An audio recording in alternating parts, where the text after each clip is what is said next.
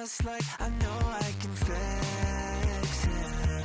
She's got hearts in her eyes, and she draws me kissing other guys. Her love, the type she don't know where to draw the line. Oh,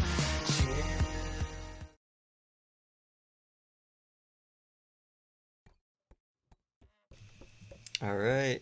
Welcome Nyan to the stage.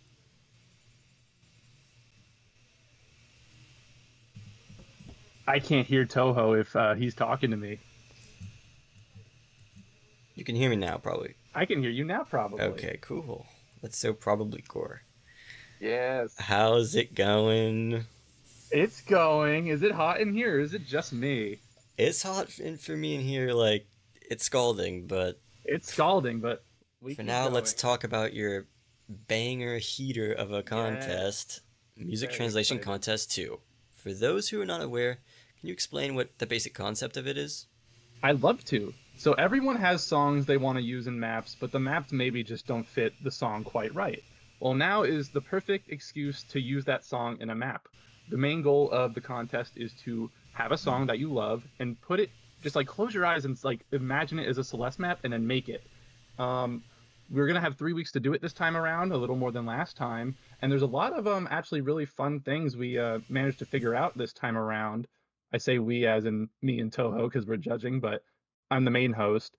We're gonna be using Game Banana Jams this time, which is um the first contest to do that, and I've yet to um unpublic or unprivate the uh, pages for that because I am in the middle of award stuff. But as soon as the uh, awards is over, I will post some stuff in um, Modding Showcase and Celeste Cord, and we will uh, start mapping. I'm really excited to see what everyone does.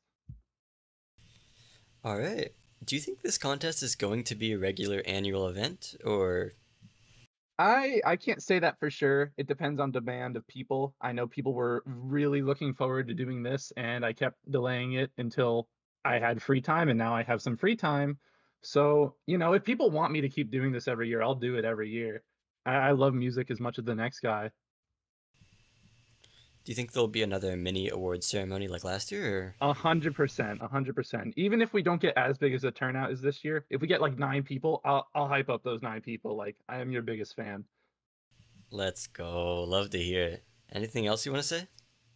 I um if you're if you're a Nyan fan like myself, uh, this will not be the last time I'm talking during the awards. I am doing a nomination and a few other exciting things down the line. So just stay hype Nyan fans because I know there's so many of you.